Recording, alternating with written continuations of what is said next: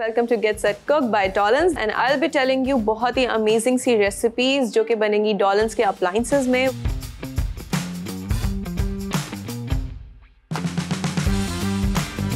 यहाँ पे मेरे पास चिकन है, इसको करेंगे marinate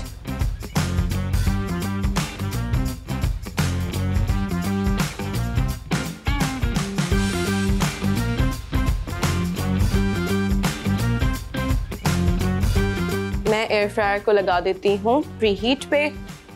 this has adjustable timer dial and an adjustable temperature dial that makes it easy 180 degree centigrade पे मैंने इसको लगा दिया है फॉर फाइव मिनट्स ये प्री हीट होगा, इसका 360 डिग्री सेंटीग्रेड जो एयर फ्लो टेक्नोलॉजी है that will make it really quick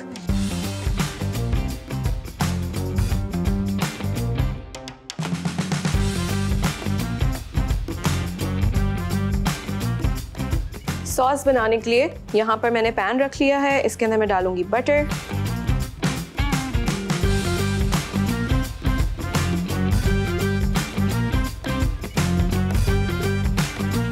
air fry हो चुका है हमारा प्री हीट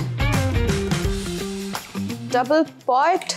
जिसमें ऑयल हो जाता है collect in the lower pot bottom में which makes it super easy to clean also it's non-stick, oil resistant adjustable timer dial से हम इसको 15 मिनट्स पे लगाएँगे और टेम्परेचर 180 डिग्रीज पे सेट हुआ हुआ है ऑलरेडी